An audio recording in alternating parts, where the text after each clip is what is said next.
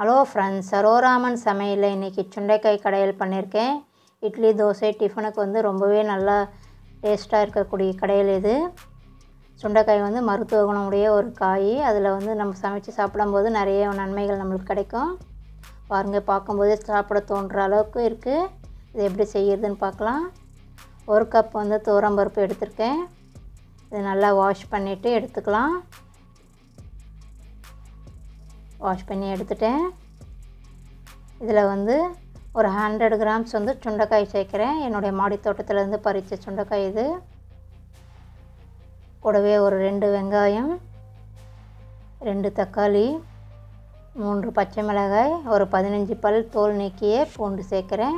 இது எல்லாத்தையுமே நம்ம வந்து பருப்போடையே சேர்த்துடலாம். ரொம்பவும் சீக்கிரமாக செய்யக்கூடிய கடையில் இது. ஒரு பத்து நிமிஷத்துலேயே ரெடி பண்ணிடலாம். எல்லாம் சேர்த்தாச்சு. ஒரு ரெண்டரை டம்ளர் அளவுக்கு நான் வந்து தண்ணி சேர்க்குறேன். பருப்பும் வந்து காயும் வேகிறதுக்கு. கூடவே கொஞ்சம் வந்து பெருங்காயத்தூள் மஞ்சத்தூள் மிளகாய் பொடியும் நம்ம இப்போயே சேர்க்கலாம். ஒரு ரெண்டு ரெண்டரை ஸ்பூன் அளவுக்கு சேர்க்கலாம். காரத்துக்கு ஏற்ற மாதிரி நான் ரெண்டு ஸ்பூன் சேர்த்துருக்கேன். ஏற்கனவே பச்சை மிளகாய் சேர்த்துருக்கோம். கூடவே ஒரு ஸ்பூன் வந்து ஆயில் சேர்க்குறேன். இது எல்லாத்தையும் நல்லா மிக்ஸ் பண்ணிவிட்டு க்ளோஸ் பண்ணிவிட்டு ஒரு நாலு விசில் வச்சா போதும் நல்லா வெந்து வந்துடும் இப்போ பாருங்கள் நல்லா வந்து வெந்துடுச்சு. இது கொஞ்சம் சூடு ஆற விட்டுட்டு நம்ம வந்து கடையணும். தண்ணியோடு கடைய முடியாது அதனால் தண்ணியை வந்து வடிகட்டிடலாம். இது மாதிரி வடிகட்டி இருந்தால் வடிகட்டிட்டு நம்ம கடையிறதுக்கு கொஞ்சம் ஈஸியாக இருக்கும். மண் சட்டி இருந்தால் அதில் வச்சு மத்து வச்சு நம்ம கடைஞ்சிக்கலாம். அது இல்லாத பட்சத்தில் நம்ம மிக்சி ஜார்லேயே விட்டு நம்ம கடைஞ்சி இதை வந்து அரைச்சி எடுத்துக்கலாம். ரொம்ப வந்து நைஸாக அரைக்கக்கூடாது கொஞ்சம் திப்பி திப்பியாக இருந்தாலே நல்லாயிருக்கும். மிக்சியில் அரைச்சா நம்ம கல் சட்டியில் அரைச்சா ஓரளவுக்கு நல்லாவே வரும். ரொம்ப டேஸ்ட்டாக இருக்கும் கல் சட்டியில் செய்யும்போது. இதை வந்து கடைஞ்சி எடுத்துக்கலாம்.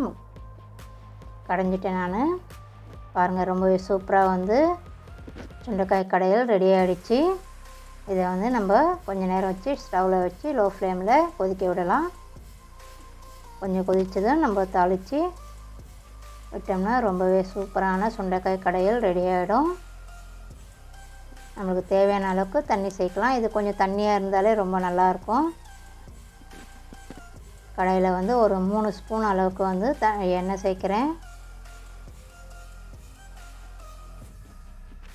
ஒரு ஹெல்த்தியான அதே சமயத்தில் ரொம்ப ருசியான சுண்டைக்காய் கடையில் இது மாதிரி செஞ்சோம்னா நம்மளுக்கு அந்த கசப்பு தோர்ப்புலாம் தெரியாது. சுண்டைக்காயுடைய இது கட கசப்புலாம் ரொம்ப நல்லாயிருக்கும் கடுகு உளுந்து சீரகம் கூடவே கொஞ்சமாக வந்து பூண்டு தட்டி போட்டிருக்கேன். ஒரு மூணு காஞ்ச மிளகாய் கொஞ்சமாக கருவேப்பிலை இதெல்லாம் சேர்த்து தாளிச்சிடலாம்.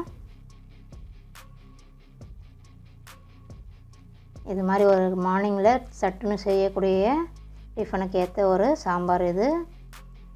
பாருங்கள் ரொம்பவே சூப்பரான சுண்டைக்காய் கடையில் ரெடி ஆகிடுச்சு சுட சுட இட்லியோட சூடான சாம்பார் இந்த கடையில் சேர்த்து சாப்பிடும்போது இன்னும் இன்னும் சாப்பிட தோணும். அந்தளவுக்கு ரொம்பவே டேஸ்ட்டாக இருக்கும்.